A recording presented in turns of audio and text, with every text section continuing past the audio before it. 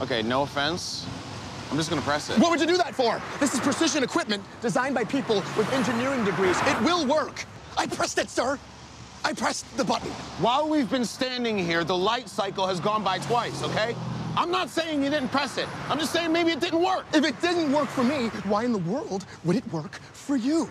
Do you think you think that it would change faster if you pressed it? Do You think the light doesn't like me or something? Or do you think that, th that this particular button was designed so that it only works after the second time that it's been pressed? Because that's lunacy, okay? Do you understand? Do not cut my balls off on this one, okay? Please, do not press the button. Okay, fine. We'll just stand here. Thank you.